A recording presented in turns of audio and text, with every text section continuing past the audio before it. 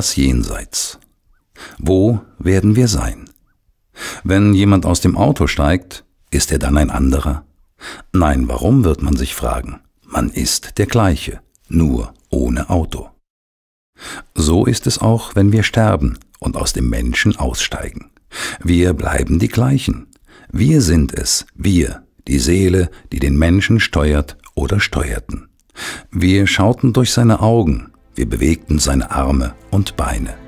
Wir dachten mit seinem Gehirn. Beim Tod steigen wir aus unserem Menschen aus. Dann brauchen wir den Körper nicht mehr, um zu hören, um uns zu bewegen. Aber wir empfinden genau wie vorher. Wir bewegen uns mit unserem Seelenkörper. Wir empfinden, hören, fühlen, riechen genau wie vorher. Vielleicht denken wir, das geht nicht ohne Körper. Bestimmt hat jeder schon einmal intensiv geträumt. Im Traum haben wir gegessen, sind gerannt, hatten Panik oder gar Todesangst. Und das alles ohne Körper? Es geht. In diesem Moment war der Traum absolut real. Hätte jemand im Traum zu uns gesagt, dass das alles nicht real sei, hätten wir ihm nicht geglaubt und seine Argumente vielleicht als Verschwörungstheorie eingestuft und ihn ausgelacht. Wir fühlten ja keinen Unterschied zum gewohnten Leben in einem Menschen in der vollmateriellen Welt. Alles war stimmig und schien in Ordnung. Wir können also eine Welt perfekt projizieren, so dass wir den Unterschied zu unserer scheinbar realen Welt nicht einmal merken. Auch wenn der Traum nicht real war, sondern meist nur eine Projektion unseres Unterbewusstseins, haben wir doch erlebt, dass wir das Gefühl hatten, in einer realen Welt zu leben. In der jenseitigen Welt jedoch ist das Leben ohne Körper keine Einbildung, auch wenn gewisse Seelen wohl eine Zeit lang in ihrer Projektion leben. Der Schlaf wird auch oft der kleine Bruder des Todes genannt. Auch im Schlaf trennt sich die Seele vom Körper. Der einzige Unterschied ist, dass das sogenannte Silberband, das Körper und Seele verbindet, beim Schlaf nicht durchtrennt wird, so dass die Seele jederzeit wieder in den Körper zurückschlüpfen kann. Der Vorgang ist jedoch der gleiche. So gesehen ist das Verlassen des Körpers für die Seele etwas Alltägliches und schon viele tausendmal Erlebtes, auch wenn wir uns nicht daran erinnern.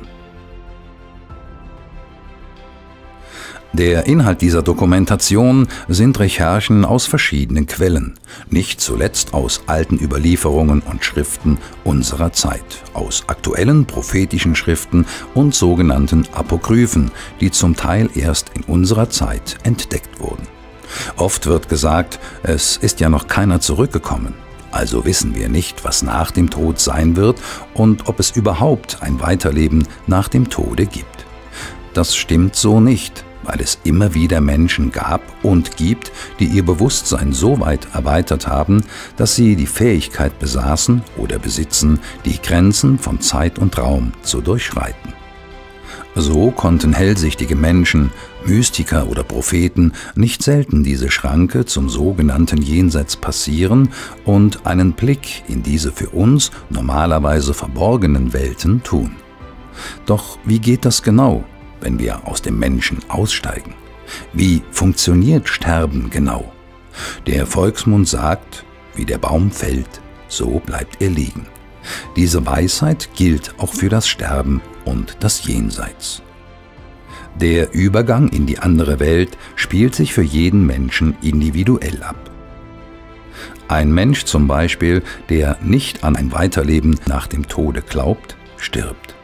Er glaubt nur an seinen Körper, mit dem er so vieles auf der Erde ausgekostet hat.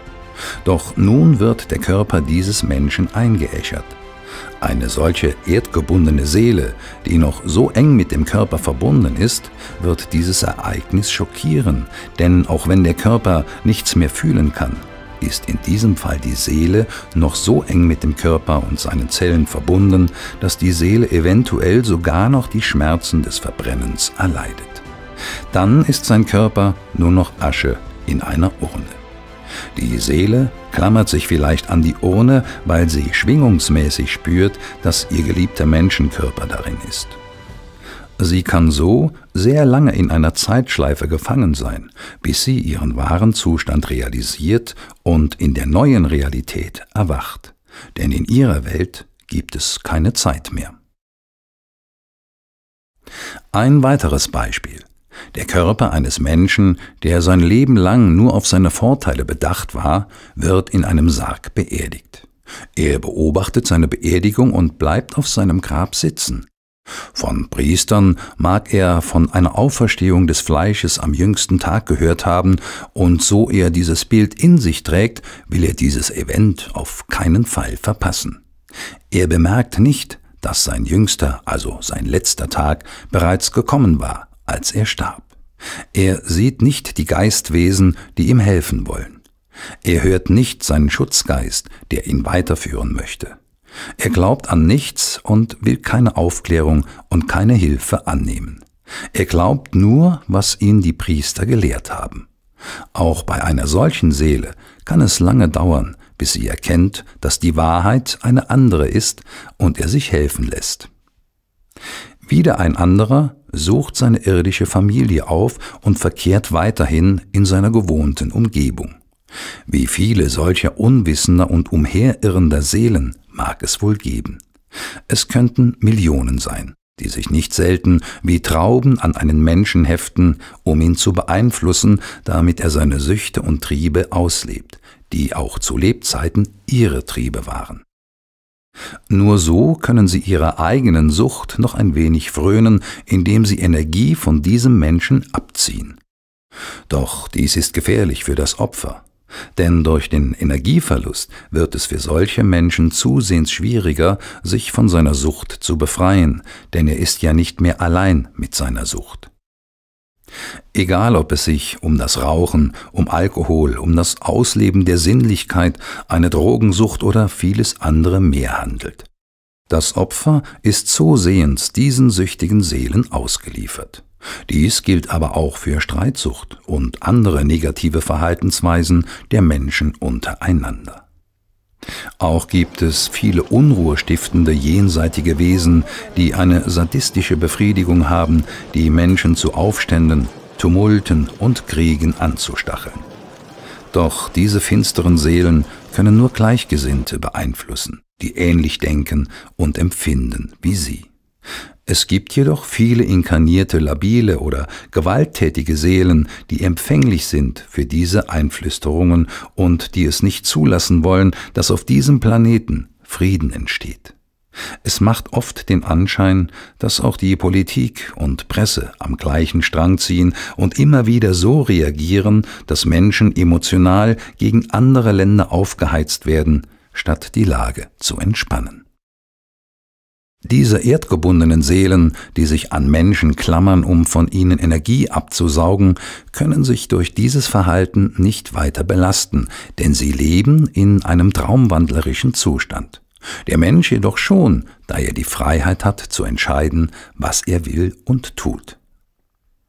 Wie zu Beginn erwähnt, gibt es Menschen, die hellsichtig sind und Verstorbene, die die Aura der Menschen und vieles mehr sehen können.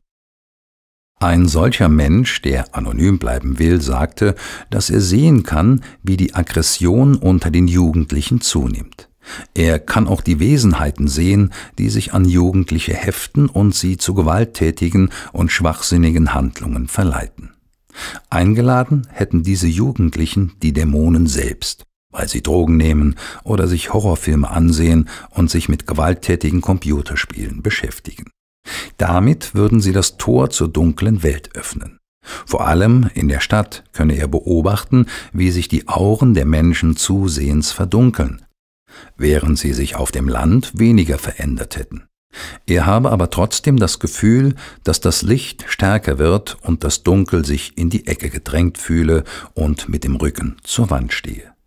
Die dunklen Kräfte seien deshalb unter Zugzwang und würden zunehmend aggressiver handeln. Sie würden wohl fühlen, dass ihre Zeit und ihre Macht zu Ende gehe, da sich die Schwingung der Erde langsam verändere. Doch nun weiter zum Thema. Jenseits, wo werden wir sein?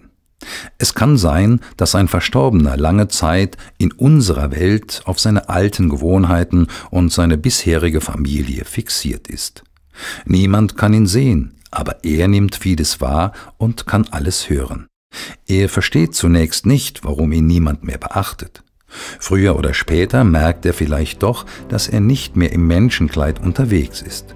Vielleicht wird er sich langsam seiner Situation bewusst, dass er jetzt als Seele in einer anderen Welt lebt und es keinen Sinn mehr macht, sich weiter in seiner alten Welt aufzuhalten, in der er ja nichts mehr bewirken kann. Jetzt erst sieht und hört er die geistigen Wesen, die ihm helfen und ihn führen wollen. So geht er dann in die Astralwelt zu seinesgleichen, denn Gleiches zieht sich an. Dort lebt er dann zum Beispiel unter egozentrischen, immer nur auf das eigene Wohl bedachte Seelen.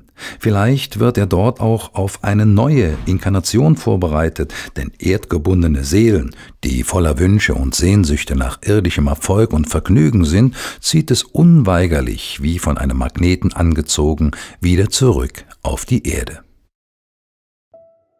Doch um inkarnieren zu können, müssen viele Voraussetzungen erfüllt sein. Alles ist mit allem verbunden und so müssen viele kosmische Aspekte für eine mögliche Inkarnation übereinstimmen.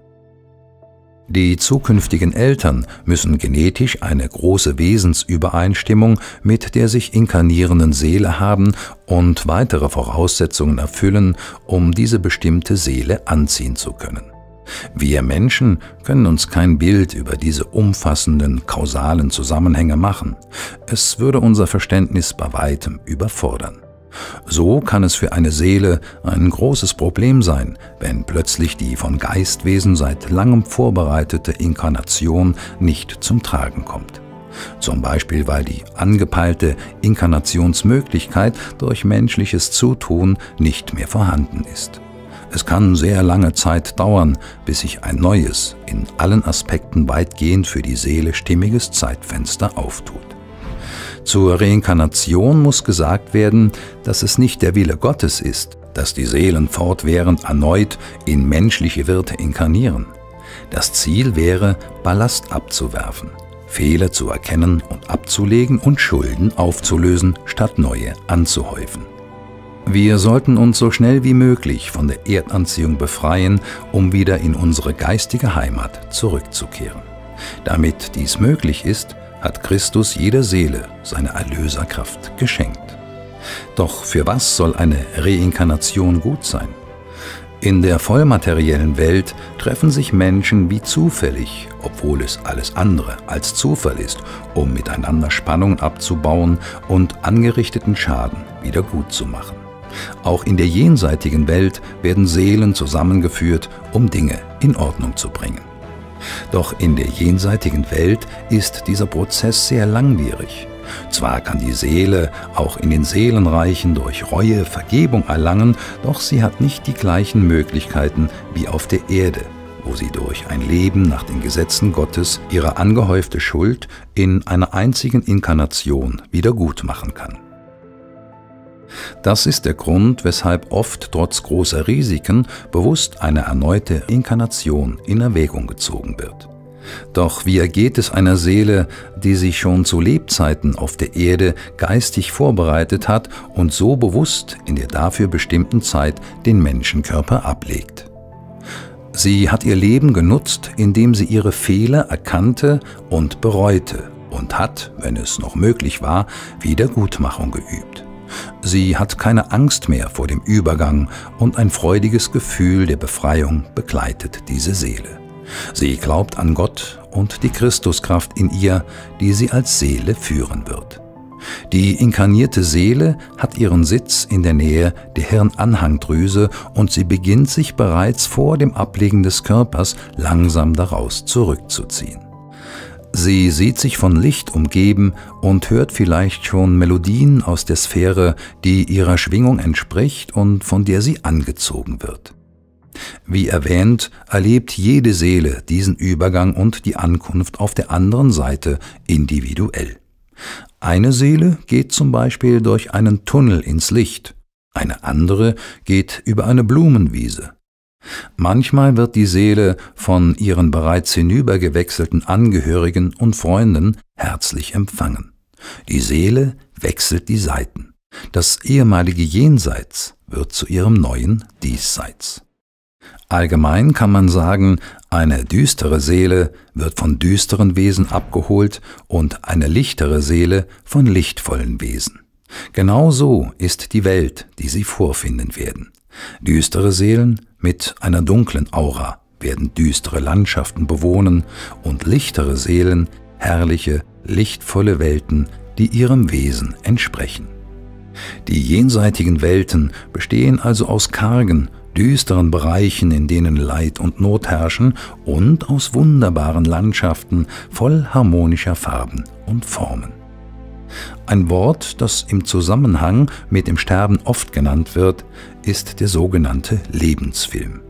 Bei Sterbenden ist oft zu beobachten, dass sie, wie in einem Albtraum, Bewegungen im Gesicht haben, plötzlich die Augen weit aufreißen, schwer atmen und zu gestikulieren versuchen.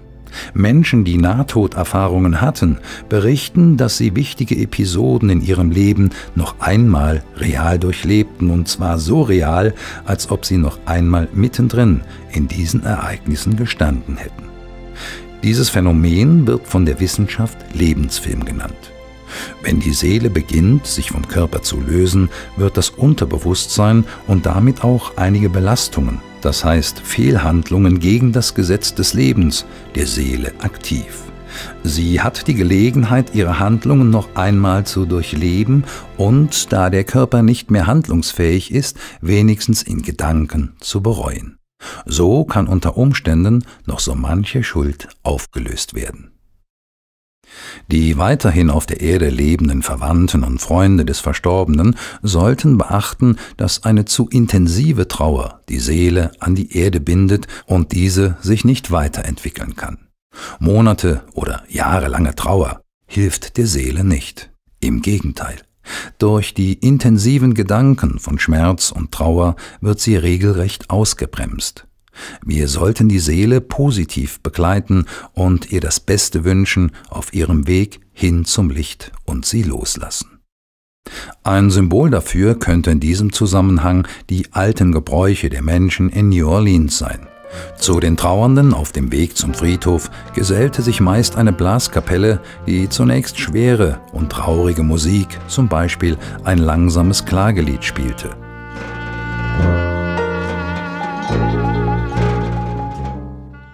Auf dem Rückweg spielte die Band jedoch mitreißende Musik und viele der Menschen tanzten dazu.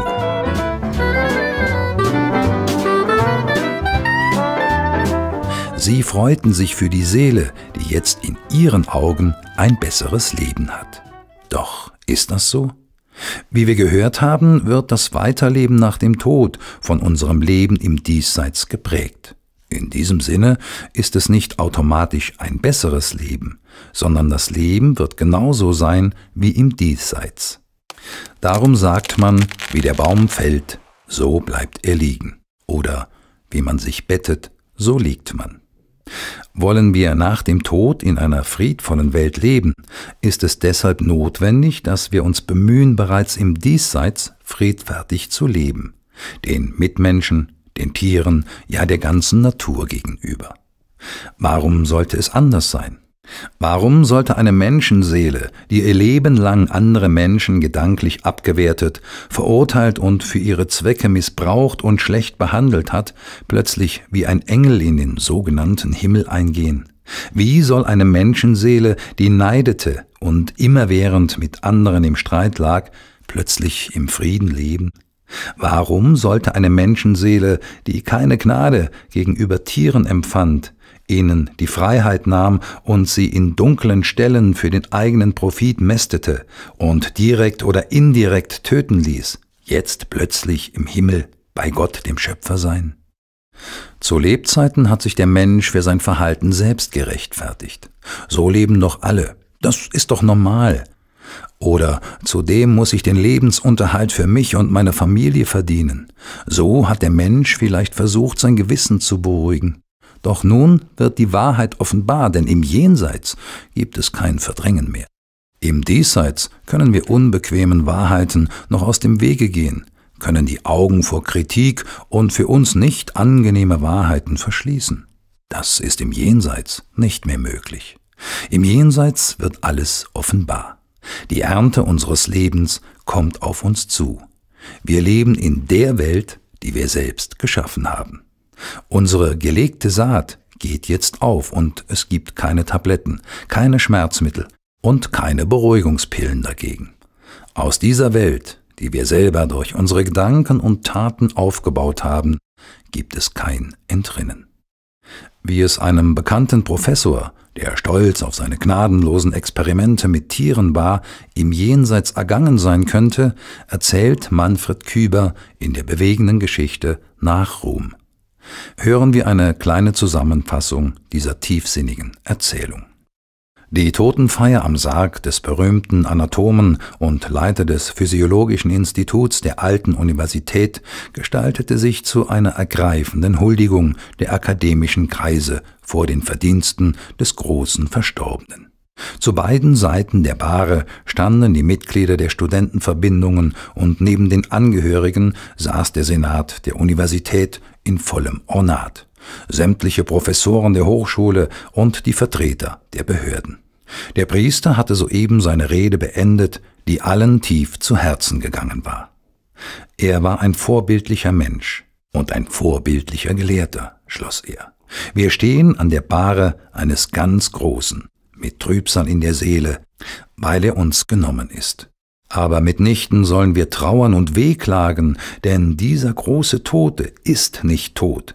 Er lebt weiter und steht nun vor Gottes Thron im vollen Glanze seines ganzen arbeitsreichen Lebens, wie es denn in der Schrift heißt, sie ruhen von ihrer Arbeit und ihre Werke folgen ihnen nach.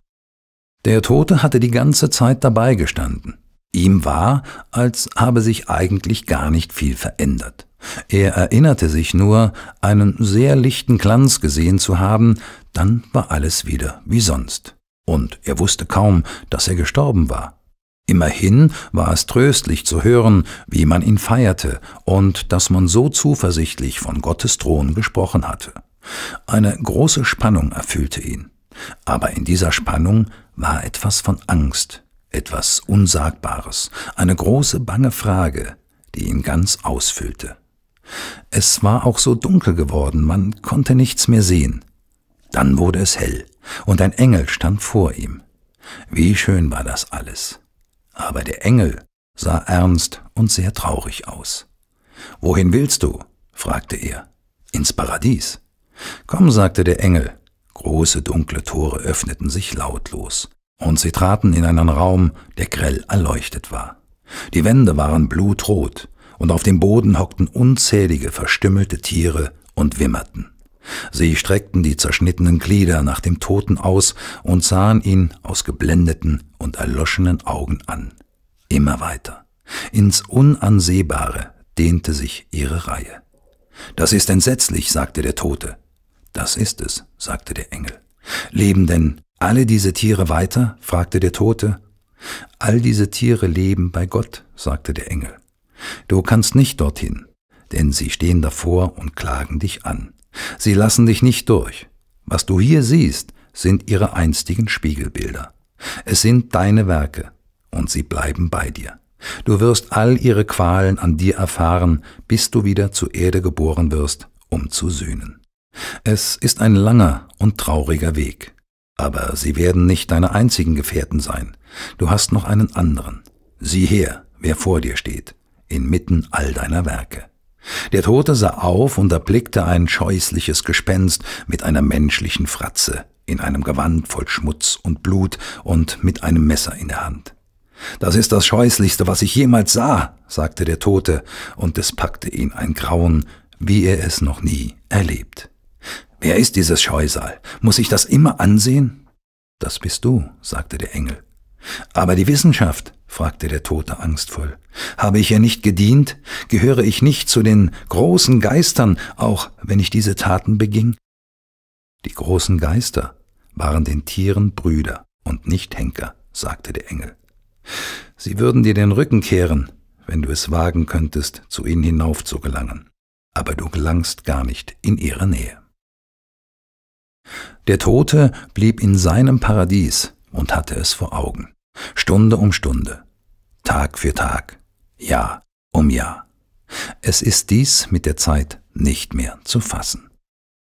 So ernüchternd oder erschreckend diese Geschichte auf uns wirken mag, so ist sie doch, wie Manfred Küber sie schildert, logisch und folgerichtig. Wir können in der jenseitigen Welt nicht in einer anderen energetischen Schwingung leben als in der, die wir während unseres Erdenlebens aufgebaut haben. So können wir uns fragen, wie ist unsere energetische Schwingung, unsere Aura? Ist sie harmonisch und licht, friedlich und liebevoll, oder ist sie eher finster, schattenhaft oder gar von grellen Blitzen durchzogen? Wer sind wir also wirklich? Das ist es, was drüben zählt, nicht das, was wir vielleicht auch uns selber gegenüber vorgetäuscht haben. Wir sind das, was wir fühlen, denken, sprechen und das, was wir tun. Und wie gesagt, in dieser Matrix, die wir selbst geschaffen haben, werden wir im Jenseits leben. In einigen Freikirchen und christlichen Bewegungen wird jedoch anders gelehrt. Glaube man an Christus, dann sei man automatisch errettet. Dann kann uns nichts mehr passieren und man komme in den Himmel. Das sei die Gnade Gottes, das sei seine Barmherzigkeit. Wenn man an Christus, den Erlöser, glaube, sei man erlöst. Er, Christus als unser Erlöser, habe alle Sünden auf sich genommen. Wer sagt, man müsse Selbsterkenntnis üben und sich reinigen, der wird schnell als Selbsterlöser betitelt, der die Erlösung durch Christus ablehne. Zudem sei dies esoterisches und östliches Glaubensgut und hätte nichts mit dem wahren Christentum zu tun, das uns die Bibel lehre. Doch ist das die Wahrheit? Die Wahrheit ist, dass nur zählt, was jeder in seinem Leben umsetzt. Viel geistiges Wissen um die göttlichen Gesetze alleine, gelesen in der Bibel oder sonstigen Quellen, sind, wenn sie im täglichen Leben nicht gelebt werden, lediglich ein Samen, aber noch lange keine Frucht. Was aber am Ende zählt, sind die Früchte unseres Lebens. Menschen, die nur geistiges Wissen angehäuft haben, deren Seelen werden wohl erdgebunden bleiben, und zu lichtvollen höheren Ebenen werden sie trotz ihres umfassenden geistigen Wissens keinen Zugang haben. Wenn wir vorgeben, ein Nachfolger Christi zu sein, müssen wir dann nicht seine Lehren beachten und leben? Verinnerlichen wir die Lehre des Jesus von Nazareth, dann ist es der Weg der Selbsterkenntnis. Seine Bergpredigt ist der innere Weg zur Liebe und Weisheit Gottes, der Weg zu echtem Menschentum. Das Ego muss erkannt werden und muss überwunden werden, wollen wir Jesus von Nazareth wirklich nachfolgen. Bleiben wir in unserem falschen Verhalten verhaftet, so landen wir im Jenseits in einer astralen Projektionsumgebung, die genau unser Inneres widerspiegelt und das uns unter Umständen missfällt. Das ist deshalb so, weil wir uns oft besser sehen, als wir sind, weil wir oft eine Maske tragen, unserem Nächsten und auch oft uns selbst gegenüber. Wir verdrängen gerne unser Negatives und wollen besser scheinen, als wir sind. Das, wie bereits erwähnt, funktioniert jenseits des Todes nicht mehr und kann sehr unangenehme Folgen haben. Jesus hat uns die genaue Gebrauchsanweisung für ein friedvolles Leben gegeben, vor allem in seiner Bergpredigt. Doch diese scheint den institutionellen Kirchen nicht genehm zu sein. Die evangelisch-lutherische Freikirche schreibt sinngemäß auf ihrer Webseite, dass in der Geschichte der christlichen Kirche die Deutung der Bergpredigt zu allen Zeiten ein Problem gewesen sei. Was vor allem Schwierigkeiten mache, seien die außerordentlich zugespitzten Forderungen von Jesus von Nazareth in der Bergpredigt. Dabei sei es vor allem um die Frage gegangen, ob und wie weit solche Forderungen in der heutigen Welt überhaupt verwirklicht werden können.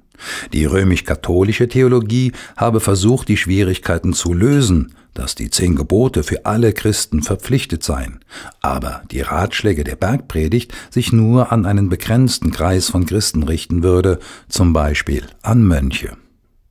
Theologen halten also die Bergpredigt für eine Utopie und widersprechen hier Jesus von Nazareth, der den Frieden und die Gottes- und Nächstenliebe vorgelebt hat. Doch statt das Gebot der Nächstenliebe zu leben, haben die Kirchen jahrhundertelang Waffen gesegnet und die Welt in die Abgründe von Krieg und Feindschaft geführt. Haben sie nicht die Unterjochung der ganzen Gottesschöpfung für menschliche Egozwecke gefördert, garniert unter anderem mit ihrer Glaubensmeinung? Die Bergpredigt sei nicht lebbar, sie sei nur eine Vision, eine Utopie einer noch fernen Zeit. Deshalb konnte nie ein Friedensreich auf dieser Erde entstehen. Alle urchristlichen Gemeinschaften, die es über die Jahrhunderte immer wieder versucht haben, wurden systematisch und brutal nach katholischem Wortschatz ausgemerzt. Schaut man in die Geschichte der Menschheit, so ist dadurch so etwas wie ein Reich der Dämonen entstanden. Aufrüstung, Waffenproduktion und Export und Beteiligungen an Kriegen werden heute bereits als christliche Tugenden verkauft. Wer nicht mitmachen will, ist in der Politik eher ein nicht ernstzunehmender Außenseiter, der nicht akzeptiert wird. Die Anforderungen mögen hoch sein, doch Jesus, der Christus, will uns zurück in die ewige Heimat führen, in die siebendimensionale geistige Heimat. Zurück zu unseren geistigen Familien, zurück zu unseren wunderbaren geistigen Wohnplaneten. Dort, in der geistigen Welt, gibt es keine Halbheiten, Dort kann man sich nicht mit süßen Worten einschmeicheln, Beziehungen nutzen oder sich mit irgendwelchen Tricks durchmogeln. Dort kommt nur hinein, wer hinein gehört, weil er rein ist. Egal, ob er ein hohes weltliches oder kirchliches Amt bekleidet, egal welcher Glaubensrichtung jemand angehört oder ob er getauft ist oder nicht. So hoch die Anforderungen der Lehre des Jesus von Nazareth auf den ersten Blick auch erscheinen mögen, es gibt keinen anderen Weg, um zurück in die ewige Heimat, unser wahres Zuhause zu kommen. Niemand muss diesen Weg gehen. Wir können auch, jedenfalls solange es noch möglich ist, immer wieder auf diesen Planeten zurückkehren. Das ist die Freiheit jedes Einzelnen. Eines sollten wir jedoch wissen, und jeder kann es erfahren. Machen wir nur einen Schritt im Sinne der Bergpredigt auf dem inneren Weg hin auf Christus zu, indem wir uns bemühen, redlich diesen Weg zu gehen, so kommt er uns viele Schritte entgegen. Für viele ist die Bergpredigt jedoch nur ein Schlagwort und jüngere Generationen kennen kaum noch ihren Inhalt. Einige wenige Ausschnitte aus der Bergpredigt möchten aufzeigen oder in Erinnerung rufen, was Jesus von Nazareth damals lehrte und um was es ihm ging. Selig im Geiste sind die Armen, denn ihrer ist das Himmelreich. Hier geht es nicht um Menschen, die in materieller Armut leben, sondern um Menschen, die dem Gemeinwohl dienen und nicht nach weltlichem und nur nach dem Eigenwohl trachten. In das sogenannte Himmelreich kommen demnach keine ich-bezogenen Menschen, sondern nur solche Menschen, denen das Wohl der anderen ein Anliegen ist. Selig sind, die da Leid tragen, denn sie sollen getröstet werden. Gott schickt keine Leiden. Der Leidende hat es einst selbst verursacht. Wer aber sein Leid trägt, ohne andere zu beschuldigen und seinen Anteil erkennt und bereut, der wird getröstet werden. Er wird die Barmherzigkeit Gottes erfahren. Selig sind, die reinen Herzens sind, denn sie werden Gott schauen. Hier ist noch einmal die Voraussetzung klar definiert, wer in die rein geistigen Welten eintreten kann. Dies vermag nicht eine Taufe zu bewirken. Es ist nicht derjenige, der die Bibel auswendig kann. Auch der Glaube ist nur ein Anfang und ist noch lange kein reines Herz. Nur der, der reinen Herzens ist, durch sein Leben im Sinne der Nächstenliebe, der wird Gott schauen. Wehe euch, die ihr satt seid, denn ihr werdet hungern. Den meisten Menschen ist mein und dein sehr wichtig und es herrscht viel Streit deshalb unter den Menschen. Wer sich am Weltlichen sättigt, der ist lichtarm und versucht diese Schwäche mit äußerem Reichtum, mit Habgier und Luxus zu kompensieren.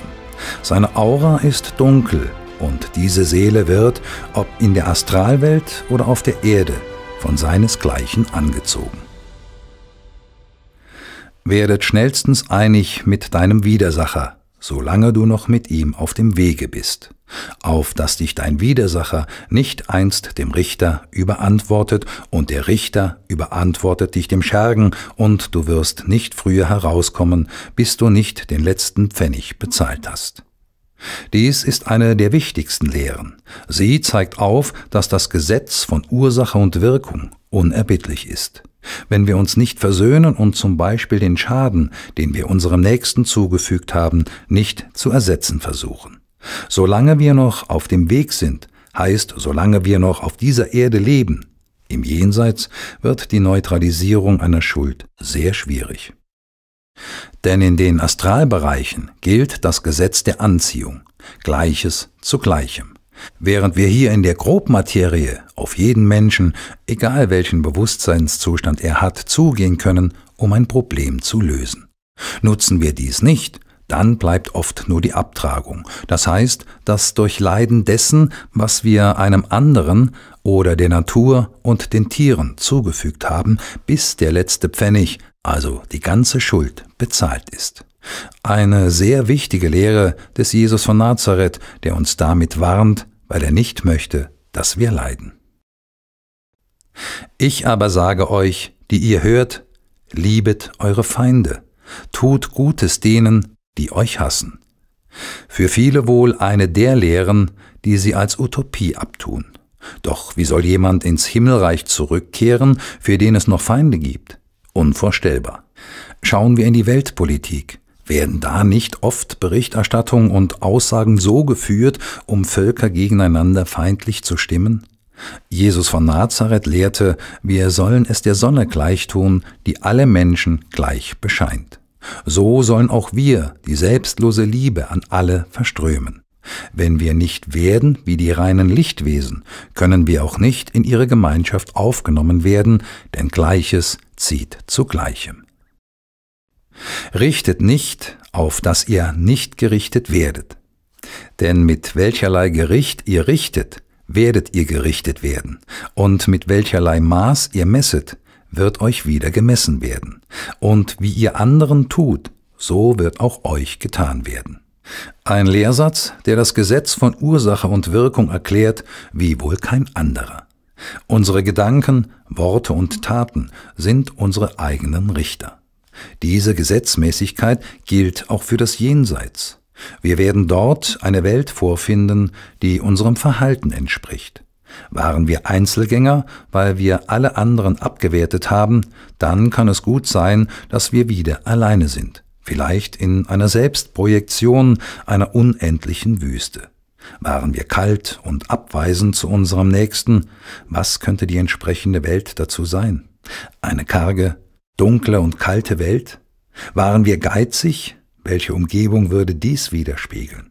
Eine Welt nur mit moosbewachsenen Steinen vielleicht? Das Moos als Entsprechung der Eigenliebe, das dann die einzige Nahrung darstellt?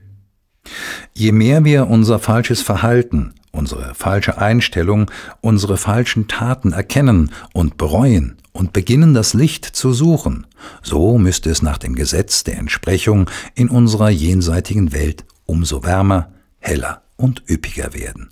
Denn wir selbst sind die Welt, in der wir leben und leben werden. Eine der tiefsinnigsten und hilfreichsten Belehrungen der Bergpredigt ist wohl das Gleichnis mit dem Balken und dem Splitter. Was siehst du den Splitter in deines Bruders Auge und wirst des Balkens in deinem Auge nicht gewahr? Oder wie darfst du zu deinem Bruder sagen, ich will dir den Splitter aus deinem Auge ziehen, und siehe, ein Balken ist in deinem Auge? Du Heuchler, ziehe zuerst den Balken aus deinem eigenen Auge, dann erst siehst du klar, um den Splitter aus deines Bruders Auge ziehen zu können.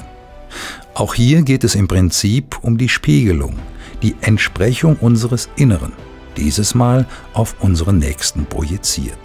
Was uns am anderen erregt, ist selbst in uns. Es kann nur die Seite in uns schwingen, die auch in uns vorhanden ist. Dies scheint nicht immer zu stimmen, so denkt man oft. Wenn wir uns zum Beispiel über die äußere Unordnung eines anderen Menschen erregen, dann spiegelt sie uns nur unsere eigene Unordnung wider. Die Unordnung kann in unserer Gedankenwelt liegen oder wir haben anderweitig keine Ordnung in unserem Leben. Zum Beispiel ein Chaos in unseren Beziehungen oder vieles andere mehr. Wäre dies nicht der Fall, könnten wir dem anderen den Hinweis der Unordnung so verständnisvoll vermitteln, dass dieser es ohne Probleme annehmen kann und keine Gegenenergie erzeugt. Die gibt es vor allem, wenn wir aus einer Entsprechung reagieren, also unsere eigene Schwäche auf den anderen projizieren. Dann reagiert der andere wirsch, weil er sich angegriffen fühlt. Dies ist eine sehr wichtige Lehre, und wenn wir sie ernst nehmen, ist es eine unschätzbare Hilfe an jedem Tag auf unserem inneren Weg zu Gott. Es bedeutet aber auch, dass wir versuchen, uns jeden Moment unserer Gefühle und Gedanken bewusst zu werden, um nicht den Tag zu verschlafen und damit Impulse, die er uns schenken möchte, unbeachtet lassen. Keiner weiß, wann sein jüngster, also sein letzter Tag auf dieser Erde sein wird. Darum ist es sinnvoll, sich innerlich mit diesem Fakt bewusst zu beschäftigen. Nehmen wir uns einmal einige Minuten Zeit und stellen uns vor, unser Übergang in die andere Welt stehe kurz bevor. Sind wir frei zu gehen? Warum wollen wir eventuell darüber nicht nachdenken? Warum sind wir vielleicht entsetzt ob dieser Frage? Was würde uns noch auf diesem Planeten halten? Was müssen wir zuvor noch in Ordnung bringen? Gehen wir unsere Gedanken durch. Gibt es etwas, das uns noch bedrückt? Ein Beispiel. Eines unserer Kinder hat Probleme und wir möchten, dass es glücklich ist. Es sind belastende Gedanken, die uns bedrücken. Wie gehen wir damit um? Übergeben wir diese Situation vertrauensvoll an Gott, unseren liebenden Vater? Er weiß, welcher Lehrabschnitt im Moment für diesen Menschen ansteht. Wir hingegen urteilen nach unserem menschlichen Bewusstsein. Leiden und Probleme sehen wir grundsätzlich negativ. So bestrahlen wir dieses Problem mit angstvollen, negativen Gedanken, die alles andere als hilfreich sind, auch wenn wir doch nur das Beste wollen. Wir sollten positive Gedanken des Vertrauens senden. Denken wir zum Beispiel an die Menschen, die ihr Leben in einer psychiatrischen Nervenklinik fristen oder als geistig Zurückgebliebene gelten. Kaum jemand kommt es in den Sinn, hier eine Chance für ihre Seele zu sehen. Es ist eine Seelenbelastung, die über den Körper ausfließt. Die Seele kann sich so reinigen und vor allem, was wichtig ist, sich nicht weiter belasten. So kann eine Schuld ausfließen und abgetragen werden, damit die Seele frei wird. Die Seele ist dann nicht mehr erdgebunden und geht nach dem Ableben des Leibes in lichtere Ebenen, wo sie weiter belehrt werden kann. Viele Menschen schauen vielleicht mit Mitleid oder Abscheu auf diesen eingesperrten Menschen herab und bedauern ihn. Sie ergötzen sich an ihrem eigenen freien Leben und nehmen alles mit, was diese Welt ihnen bietet. Die Folge ist oft, dass sie nach diesem Leben wieder auf diese noch dunkle Erde inkarnieren. Wer ist dann der wahre Bedauernswerte und Eingesperrte? So sehen wir vieles nur aus unserem eingeschränkten menschlichen Bewusstsein. Wir sehen nicht, wie Seelen und Menschen durch ein Handicap, durch Leid, Probleme und scheinbar hoffnungslose Situationen die Möglichkeit haben, innerlich zu reifen. Der Mensch wird dadurch demütiger und weicher. Er fängt vielleicht plötzlich an, Fragen über den Sinn des Lebens zu stellen. Vorher hätte er über solche Fragen gelacht. Oft, wenn Krankheit und andere Schicksalsschläge eintreten, geht der Mensch in sich. Er wendet sich das erste Mal an eine für ihn nur vielleicht existierende höhere Macht und beginnt mit dieser zu kommunizieren oder fängt an zu beten. Was uns als scheinbar schlimmer Zustand quält, ist vielleicht in Wahrheit eine große Hilfe und Chance für die Seele und vielleicht sogar ein neuer Anfang. Sie geht ein Stück weit geläuterter aus dieser Situation hervor. Jeder hat andere Sorgen, die ihn belasten. Gehen wir sie an und versuchen unser Leben mit einem gewissen Abstand zu sehen, so als wären wir mit unserem Bewusstsein im Weltall und würden uns als Mensch auf der Erde beobachten. Mit Abstand sieht man die Dinge besser. Ein weiteres Beispiel, ein Thema, das viele Menschen betrifft, ist die Partnerschaft. Der Mensch, der an seinem Partner hängt, möchte nicht von ihm getrennt werden. Eines Tages werden wir jedoch alle zwangsläufig durch den Tod äußerlich getrennt werden. Es wäre also gut, wenn wir uns mit diesen Gedanken schon vorher vertraut machen, um eine innere Stabilität zu finden und unabhängig zu werden. Denn alles, an dem wir noch haften, bindet uns und wird wie Magnete sein, die uns wieder in die grobe Materie, in die nächste Inkarnation ziehen und uns hindern, in höhere, lichtere Gefilde hinaufzugehen. Der jeweilige Partner ist uns nur für eine kurze Erdenzeit gegeben und wir tun gut daran, in dieser Zeit wahre Freunde zu werden, wo jeder dem anderen nur das Beste wünscht. Eine innere Verbundenheit im Herzen kann nicht getrennt werden. Zudem ist durch prophetische Offenbarung bekannt, dass wir in der geistigen Heimat ein Dual haben, also einen Partner, der vielleicht sogar in dieser Erdenzeit unser Schutzgeist ist. So lautet oft die sehr menschliche Frage, ist das Dual denn nicht eifersüchtig, wenn ich hier einen anderen Partner habe? Bestimmt nicht, denn dies ist ein typisch menschlicher Gedanke. Ein geistiges Wesen kennt keine Besitzansprüche und lebt das, was wir anstreben sollten.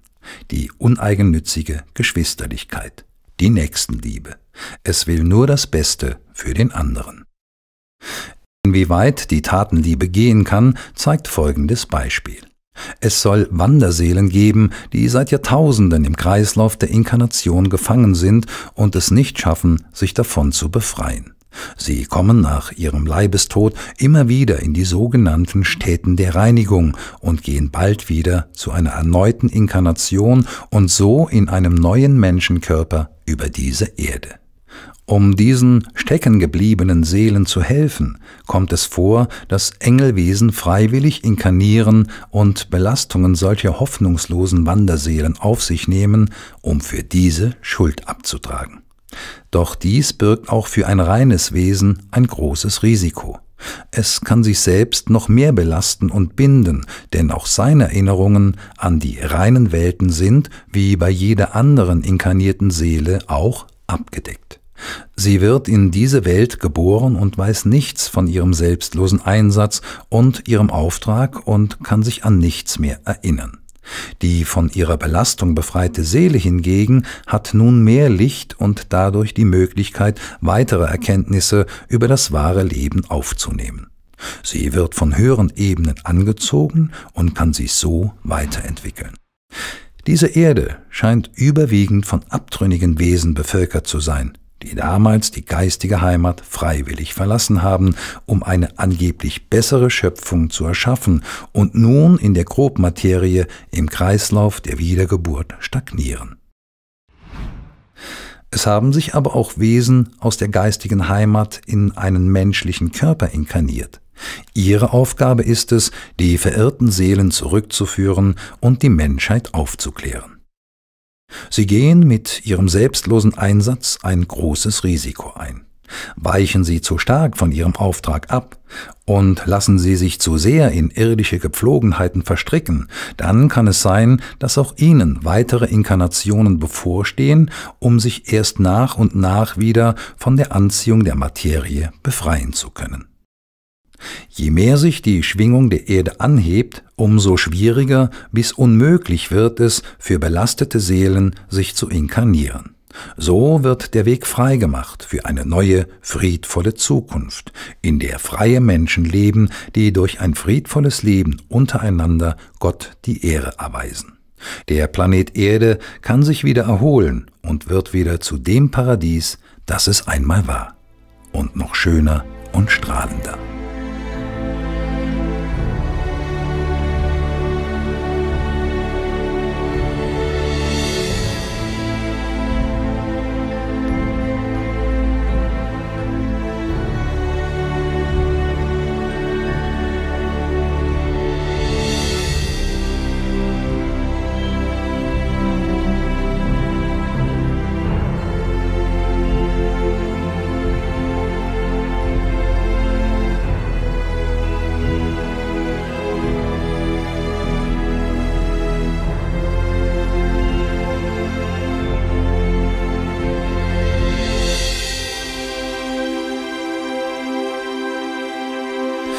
Wie bereits erwähnt, erlebt jeder die jenseitige Welt anders, je nach seinem Bewusstseinsstand.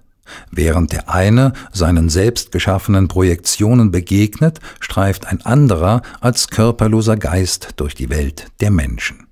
Eine bewusste Seele trifft sich in der jenseitigen Welt mit seinen bereits verstorbenen Verwandten, seinen geistigen Freunden und ist bereit, durch hilfsbereite, lichte Wesen oder durch seinen Schutzgeist weitergeführt zu werden, immer weiter dem Licht entgegen. Das alles hängt davon ab, inwieweit der Mensch ein bewusstes Leben geführt hat. Ist er blind durchs Leben gegangen oder hat er sich Gedanken über den Sinn seines Lebens gemacht? Warum sind wir in dieser Erdenschule? Wir sind zum Beispiel hier, um zu vergeben und um Vergebung zu bitten und zum Beispiel Dinge nicht mehr zu tun, die zu Streitigkeiten geführt haben. Oder vielleicht sind wir jetzt hier, um das wieder gut zu machen, was wir in diesem Leben oder in Vorinkarnationen falsch gemacht haben. Vielleicht sind wir auch hier, um unser Schicksal, eventuelle Leiden und Krankheiten anzunehmen und so auch versuchen zu erkennen, welches falsche Verhalten dazu geführt hat und uns dann zu ändern. Wer so beginnt, den Sinn des Erdenlebens und seine Gedanken zu analysieren, macht den ersten Schritt hin zur Selbsterkenntnis. Nur so können wir diese Lebensschule positiv nutzen und eines Tages als geläuterte Seele, bewusst und ohne Angst, in die jenseitige Welt hinübergehen.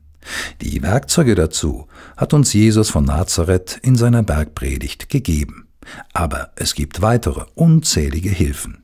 Jeder, der zu suchen beginnt, wird individuell geführt. Er stößt wie zufällig auf aufklärende Bücher, trifft Personen oder findet ein Video, das ihm weiterhilft und seine Fragen beantwortet und vielleicht auch neue, weitere Fragen weckt. Diese Führung hat wohl jeder schon erlebt, der auf dieses Video gestoßen ist. Die Führung zur Selbsterkenntnis ist unter Gnade zu verstehen, nicht, dass Christus der Seele diesen Weg zur Selbsterkenntnis und Reinigung abnimmt, wie es viele glauben wollen. Sie werden vielleicht einmal rufen, Rette mich, o oh Herr, ich habe an dich geglaubt und täglich die Bibel gelesen. Da wird die Seele vielleicht die Antwort bekommen, hast du das auch in die Tat umgesetzt, was Jesus in der Bibel, in der Bergpredigt lehrte? Hast du die Balken in deinem Auge erkannt und dich geändert? Hat Jesus nicht gelehrt, dass nur durch die Tat ein Haus auf dem Felsen sicher steht, das den Stürmen trotzen kann? Der Glaube ist nur der Anfang, dann folgt die Tat und die Arbeit an sich selbst.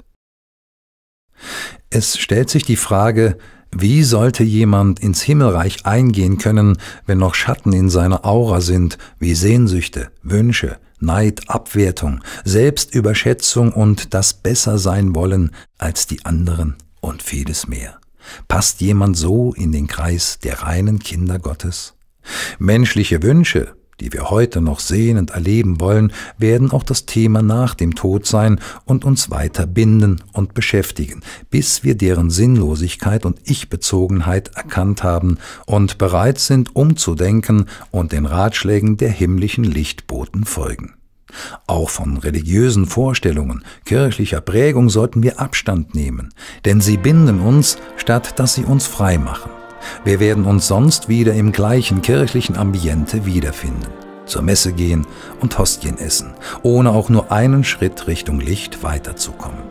Viele werden dann vielleicht schmerzlich erkennen müssen, dass die Hoffnungen und Versprechungen, die ihnen gemacht wurden, nicht zutreffen. Wir sollten uns also bewusst werden, dass unser Leben auf dieser Erde nur eine kurzzeitige Episode unseres kosmischen Lebens darstellt und sollten uns deshalb nicht mit Leib und Seele an Personen oder materielle Güter binden, damit wir es einst leichter haben werden, uns in der jenseitigen Welt zurechtzufinden. Wir können auch weiterhin liebgewonnenen Menschen herzlich begegnen, das versteht sich von selbst. Doch wenn wir uns bewusst werden, dass nicht nur ein begrenzter Kreis, sondern alle beseelten Menschen unsere Geschwister sind, im übertragenen Sinne auch alle Tiere und die ganze von Gott durchstrahlte Schöpfung, dann können wir in diesem Bewusstsein Stück für Stück unsere Bindung an die Materie lösen und fühlen uns zuversichtlicher und angstloser und freier. Wer seine Mitmenschen achtet, der wird ihnen nie etwas zuleide tun. Er bemüht sich in allen Lebensbereichen, also auch den Tieren und der Natur gegenüber, ein friedfertiger, sanftmütiger und versöhnlicher Mensch zu sein. So eine friedliebende Seele wird, nachdem sie den Körper verlassen hat und in das Jenseits gewechselt ist, keine Anziehung zu friedlosen und gewalttätigen Wesen haben. Sie wird von einem lichtvollen Planeten angezogen, dessen Schwingungsmelodie sie vielleicht hören kann und sie führen wird. Auf diesem Planeten wird sie unter ihresgleichen leben, zusammen mit anderen friedlebenden und sanften Wesen. Sie wird eine Aufgabe bekommen oder eine Tätigkeit ausüben, die sie im Herzen erfreut und sie erfüllen wird. Wer möchte nicht eines Tages auf so einem Planeten und in so einer friedvollen Gemeinschaft leben? Wir formen im Jetzt das Morgen. Es ist unsere freie Entscheidung, wie dieses aussehen wird. Leben wir also so, dass wir den Tod nicht schmecken werden, sondern ihn als Übergang sehen und keine Angst mehr vor ihm haben.